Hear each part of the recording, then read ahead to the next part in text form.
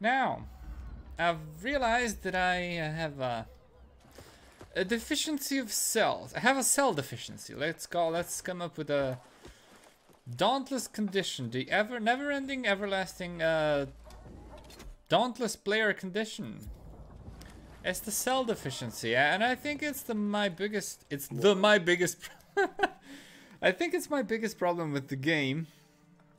If anything's gonna cause me to, to, to just quit it, it's, it's the cell RNG. Because when you reach the end, so-called end game, and you kind of beat pretty much all the monsters, there's not a lot of things that you can do in the game, and one of those things is uh, just uh, go for the go for a specific build and specific stats and perks, and and try to make that. And that's really, it's really annoying when you keep doing dailies and keep farming XP so that you can complete these tracks and uh, get these these cores. And then you open cores and then it's just uh, all the stuff you're absolutely not interested in using in any of your builds.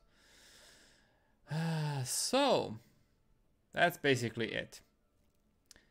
That's basically what I'm up against right now. It's the RNG. RNGness. And the RNGness is tough.